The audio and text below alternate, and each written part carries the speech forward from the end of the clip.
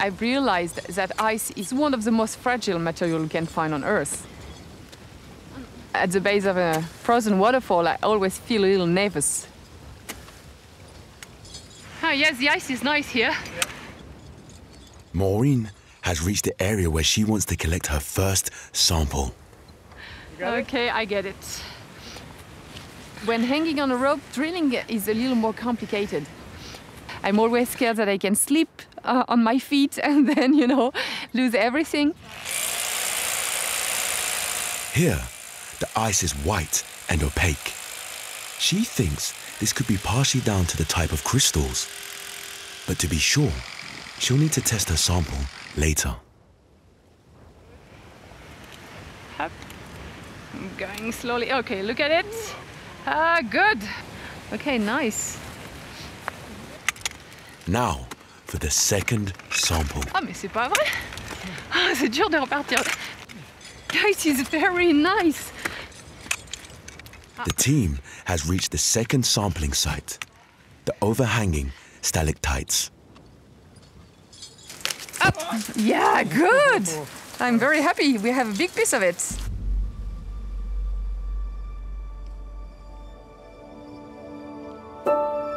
Later, when they are safely down, Maurine sets about comparing the samples.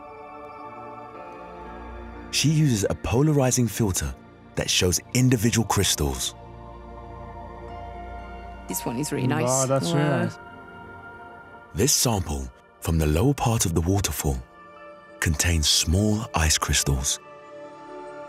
This tells Maurine that the water probably froze quickly at very low temperatures. So small grain might be coming from fast freezing. In contrast, the sample from the higher section of the waterfall has much bigger crystals. Hmm. nice color. Yes.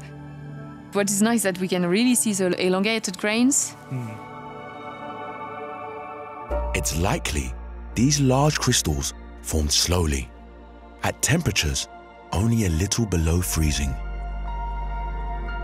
What I would expect on, on something like that is that um, we had water flowing down, so uh, zero degree water, and so it really freezes gently, so the grain could be long. Nice story.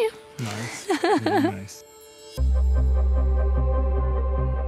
Maurine's research is helping to build a picture of how these frozen waterfalls depend upon the size and structure of tiny crystals of ice. Every one of which is shaped by the temperature at which they form. And that connection is universal. Whether it's the ice crystals that form in the frozen waterfalls of Switzerland in midwinter